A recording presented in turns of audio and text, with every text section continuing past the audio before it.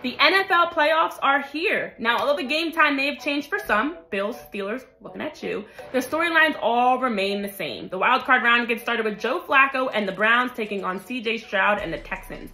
Last time these two matched up in week 16, the Texans were without CJ Stroud as Joe Flacco and Amari Cooper combined for a franchise record 265 passing yards in that 36-22 win. But who would have predicted that when Deshaun Watson went down with a season-ending shoulder injury, that 38-year-old Joe Flacco would return to the NFL in November and have four consecutive games of 300 plus passing yards and five games of two or more touchdowns. The Browns may be seeking their second playoff win since 1999, but for Joe Flacco, against the spread, 5-0 in wild card round games. Now, on the other side of the ball, Myles Garrett and the defense are the top of the league in a number of categories. They've allowed on average eight first downs per game, which is best in the league, and also top of the league in third and fourth down conversions. Although many signs may point to Cleveland winning this one, don't sleep on frontrunner for Offensive Rookie of the Year Stroud and the Texans.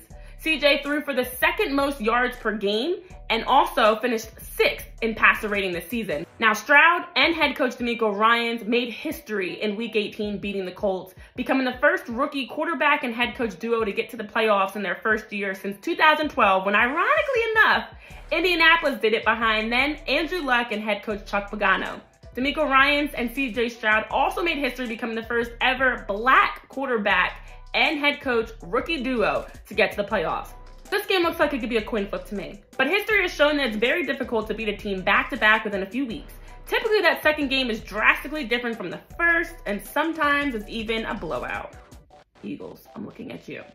So I actually had the Texans winning this one. Just my two cents, part two on wild card round breakdowns coming soon.